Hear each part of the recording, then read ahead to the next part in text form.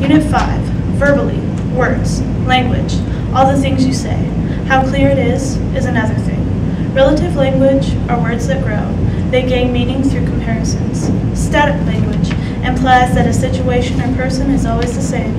I language changes the blame. You're annoying changes to when you make those sounds, I have a hard time focusing.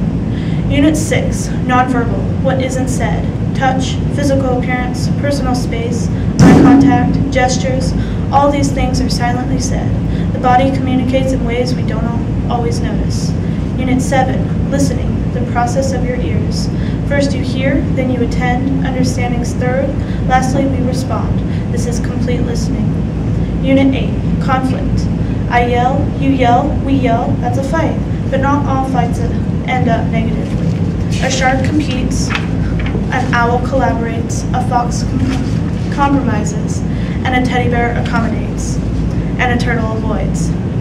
These are the styles on how people conflict.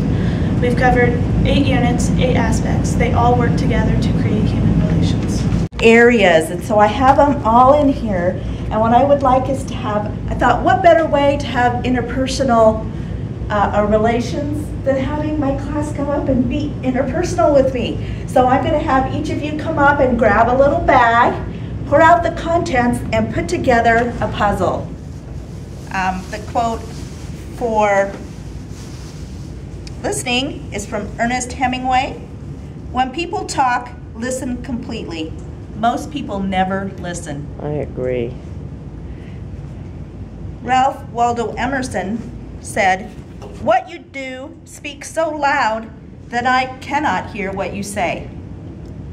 And he's speaking about conflict. And Confucius, he who speaks without modesty will find it difficult to make his words good.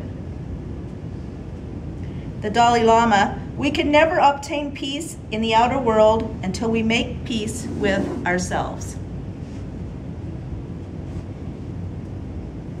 Dale Carnegie said, when dealing with people, remember you are not dealing with creatures of logic, but creatures of emotion.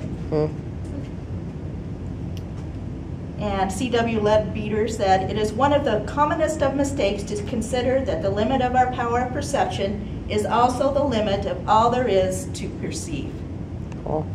Like this, I'm still in high school, so you know, jumping into college like this was pretty neat, and I just, you guys are all so funny and so nice and so accepting, and I just, I think that's the one thing that I'm gonna take away that you know, people are nice. There are nice people out there, and you know, you can find them, and I found them here at Broadview. That's nice. That's really nice. with people and with a lot of different circumstances, and whether you don't like them at the moment or not, you can eventually like them by the end of the day. take out of this class is um, communication because communicating is a big deal and the I-message thing that that really made a big difference in my home and it helped me actually open up to my family and let them know how I'm feeling and so it, it did a lot for me and